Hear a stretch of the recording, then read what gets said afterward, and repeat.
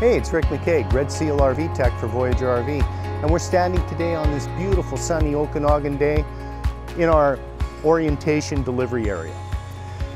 Today, we're going to be focusing on one aspect of my job, which is to provide you, the customer, with a full orientation of your unit upon uh, delivery. If you miss or forget any details of, of your orientation, don't worry, we've got you covered. This orientation is going to be on a very popular Jayco Rocky Mountain Edition Jay Flight. It, it's going to be specific to this trailer, but most of the points are going to apply to any uh, RV. There's going to be a lot of information, but we're going to provide you with a list and a timestamp so that you can you can buzz ahead to the to the stuff that you're interested in seeing. The tongue jack controls the front to back angle of, of the trailer and it also helps you to position the hitch onto the ball when it, when it comes time for hookup. So there are two controls here. This one is just for a light to help you hook up in the dark. That's all it does. And this is up and down for the jack itself. Now, if you go too far and you're past the extend past the end of the range of, of the uh, of the of the throw, you're going to cause this fuse to blow. So this is just a 30 amp blade fuse. You should carry a spare if you have one if you um, if you have one of these jacks. Now, what happens if you're out in the bush and and that blows and you don't have a spare? You have the option of a manual crank, which is right here. We'll just pop this cap and I'm gonna go grab the, the jack handle. Pause. Here's the jack handle. It just goes in like that and you can crank it up and down. Next thing I want to show you is the uh, propane cover. You'll notice that the hinges are towards the front and that's on purpose because if this is loose and you have it the other way, this can blow right off. This way it blows shut. And now we'll show you the tanks themselves. Okay, so when you get to where you're going, you're going to turn on both tanks. You have a semi-automatic changeover regulator here. So the reason it's, uh, the, the, automatic part is uh, we're going to open both tanks. Right now, this is the tank selected and it's going to uh, draw from this tank until it's empty. I'm going to just leave it like this for right now so that I can demonstrate what's going to happen. So if the tank is, is um, selected and it's red like that and this is open, then you know that this tank is empty and it's pulling from here. The semi-automatic part is now you're gonna select the other tank and you'll see it's gone to green. So we know that this tank is full. Now we can take this tank off uh, and get it filled. In this case, both tanks are full because uh, this is ready to go. So I'm gonna open up both tanks. Now this is the one that's selected first. Now we're going to talk a little bit about battery maintenance. So here's our, our RV27 battery. I'm just going to open up the, uh, the strap here so that I can get into the box. There's our RV27 battery. Now this unit has a slide so that's why we have the bigger battery on it. This particular battery is maintenance free. There's nothing to check. The only maintenance you have to worry about is in the winter time. You're going to remove this battery from the from the coach and put it someplace warm. It's only water that's in here and it will freeze and expand and crack the case. So that's what we're trying to avoid. If by some chance you hook the battery up incorrectly, red is positive, black is, is negative, uh, then um, you're going to blow the fuse and I'll show you where that is. So if you follow the red lead, which is the positive lead, you're going to come down to this part of the, uh, of the uh, frame and you'll see this little fuse holder. So again, it's a 30 amp blade fuse. So it's another good reason to carry a, a spare. Not all trailers have this fuse. Some have resettable breakers. This one has the fuse. A resettable breaker is like this one up here. I, I don't know if you can see it from that angle, but there is a resettable breaker up there. They just heat up, cool off, and, and close the circuit again. We've moved around the trailer now. We're on the driver's side uh, and at the front of the coach, and that's where you're going to find all this trailer information here. You have your VIN, you have uh, tires, we have carrying capacities, GVWR, all of that stuff is on these, these decals here. This decal is the decal that we put on to certify that the gas system is safe. So we have done a complete gas test on this and made sure that everything is safe and working properly as far as the gas is concerned. We do that with new units and used units. We have to do it with used units, but we do it with, with new ones as well. The other thing I want to show you up here is the stabilizer jacks. There's one on all four corners. They're only to take what I call the wiggle out of the jiggle. So when you're walking around, it takes, takes that little movement out of the trailer. So the way that you use that is you're going to grab a jack handle, stick it on there, and just crank them down. The closer that that, that foot is to the frame, the stronger the jack is. The more extended it is, the weaker it gets. So um, be very careful that you don't try to use this to um, level the unit. Leveling is done by um, putting something under the tire and driving up on it.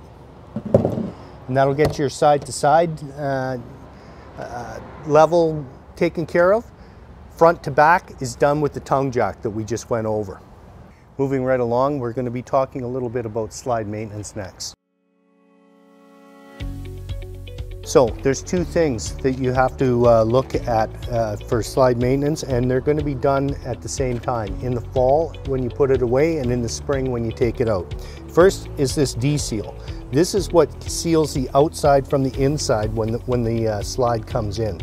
So this has to be kept soft and supple. You're going to be wanting to put some slide seal saver on, on this. It just sprays out as a white foam and then it absorbs directly into the, into the rubber and keeps it nice and soft and pliable. The other thing that you're, you're going to be watching for is underneath on the gears. So this is the rack for the gear system. So uh, the, this, these little teeth right here are what you're going to lube. You want to get a, a, a lube that's dry and doesn't attract dirt. Uh, we sell it in our parts store. You just spray it on here and then when you run the slide in, it lubes the gears for you. So again, you're going to be doing that in the fall and in the spring just to keep the gears maintained. We're at the back of the trailer now and we're getting down to the guts and the glory where the sewage and gray water comes out and that is down at this point here. First though, I want to talk about these two connections right here. You'll notice how these two connections look exactly the same. However, they have completely different functions. This is your uh, black tank sewer flush. This is your city water connection. Don't get them confused. For more information on this, refer to the uh, video I did called Black Tank 101, and it'll go into great detail about what, what the problems are with, uh, with confusing these two hookups. Okay, here's your sewer connection. By taking this cap off, you're going to hook your, your sewer pipe up here and then it goes down into the ground. You have your black holding tank over here. It's clearly marked with this label up here and you're going to pull that out and let the, let the uh, sewage run out until it stops running. Then you're going to close that off. Then you're going to open the gray valve and, and let the dirty soapy water in your, in your gray tank clean out your sewer hose. Once that's done, you can close that up and open this up again and then use your sewer flush to just flush out your uh, black tank. Once that's done and everything stopped, stopped running, then close this up and then you're going to go inside and charge your toilet with more chemical. In the far back corner of the trailer we have this cable and TV uh, cable TV satellite input and it's just you just plug in here when you're at a full service park that has a cable hookup.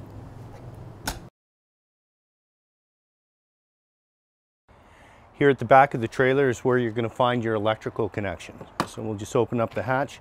This is a 30 amp cord, so that's, that's just going to plug into the post. Just pulls out of the trailer. It's uh, this. I think this one's about 25 feet long. They're usually between 20 and 30 feet long. Uh, you can get a connector that will go from 30 amps to 15 to allow you to plug into your house. Uh, that way you can cool off your uh, fridge and also recharge your battery before you go camping. So it's a good idea to do that a day or two in advance. We have a bumper bracket for the barbecue. So first thing we have to do is hook up the, the, uh, the barbecue hose. So we're going to remove the cap, make sure that this is turned off, and it is. And just pop this in here. Like that. Then we can turn on the, the propane. So to open up this bracket, we just take the pin out, open this up.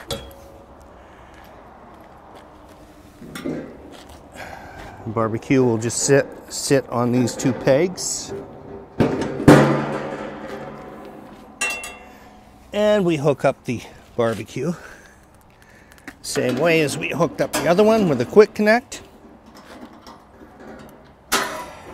Pop it open, turn on the flow of gas, and light it underneath there, and you have steak du jour.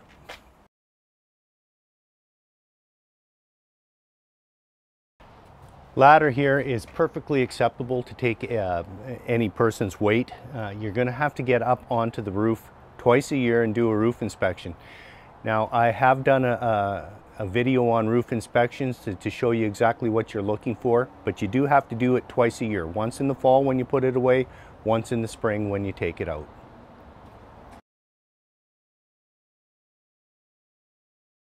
Now we're at the rear of the uh, trailer on the passenger side, and that is where the hot water tank is located on this particular unit. So inside of the unit,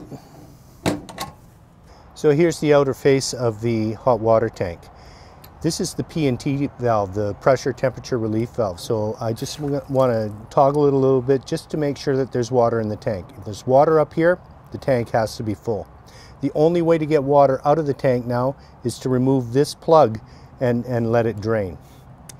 So this one is gas and electric.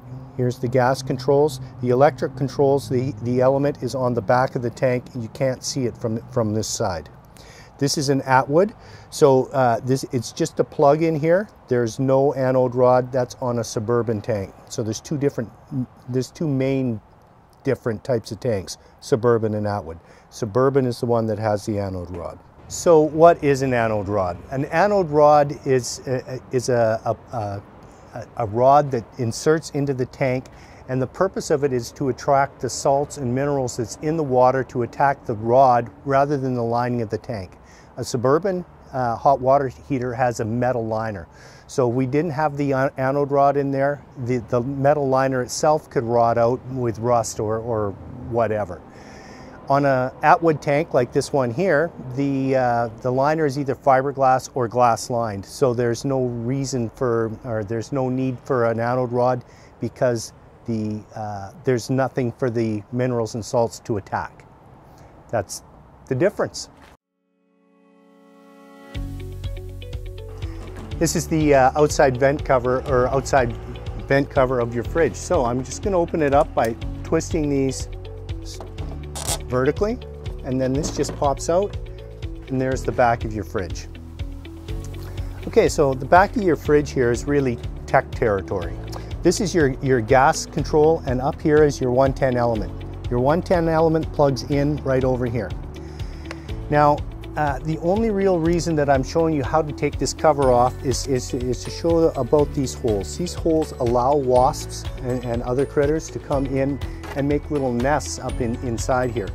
But you can't block these off. It's important for airflow that there's no restriction whatsoever here so that the air flows freely across these cooling uh, tubes. However, you're gonna have to get this off every once in a while to get at the wasps. So that is that's how you take it off. To put it on, you just put it into the, uh, the tabs into the notches. This comes up into here. Push these into place. Oops, let's get that straightened out. Mm -hmm. And then turn them horizontally and that locks them in place. Just like that.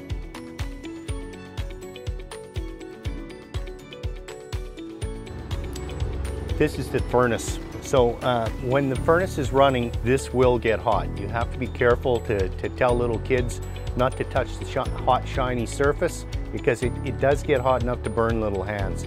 and it will melt plastic if you lean uh, uh, like a, a lawn chair or something against it. Again, the only time it's going to get hot is when you're using the furnace, but uh, it's something to be aware of. This is the range hood vent, and when uh, you get to where you're going, you're going to want to unlock it. Right now, it's in the travel position, it's locked down. So to use this, you have to allow this little flap in here to, to, uh, to be free, and you just reach up in here. So to open this up, all you have to do is just press these little tabs, and now it's flapping free to allow the air to escape from the fan inside. This is the gravity fill uh, for your uh, fresh water tank. So to fill this, all you're gonna do is uh, stick a hose in here. We're just simulating this. And then let the water run until you see water squirt out of the vent hole. This little um, label here tells you uh, it's potable water only. Uh, and, the, and, that you should sanitize. I have done a video on how to sanitize your tanks. That's something else you can check out if, you, if you're interested. To get the water out of the tank, you're gonna have to come down to this low point drain, which is right underneath here. This is the low point drain for the fresh water tank. All you have to do is open it up and the tank will start to drain right in my face. if you were ever wondering what this little block is, is back here, it's actually a mount for a TV. This is the bracket. This goes onto the back of the TV and then it'll just fit on there like that. And then to get the TV off, off it comes. So there's one on the outside and there's also one in the bedroom. Uh, this is where, this is not a, a, cable in, this is actually cable out for this TV. And then here's where you plug the TV in. GFI protected.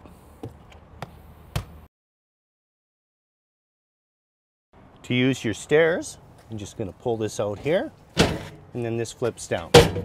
Same thing to go up, just like that. Just be careful when you're when you're grabbing this that you uh, don't just hang on because you can hurt your wrist if, if, if you're not careful. To use the door, the latch opens like so. There's our screen door. On the inside, this is how you open the latch from the inside once this is closed. To open the door from the inside, this is your latch. You can see that the, that the lock is, is opening and closing. And this is your deadbolt. Don't try to close the door with the deadbolt out.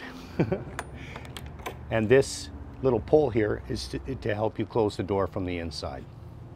This concludes our orientation video. The points I've covered in this video will apply to most RVs, but if you have a specific question relating to your RV, please leave a comment below the video.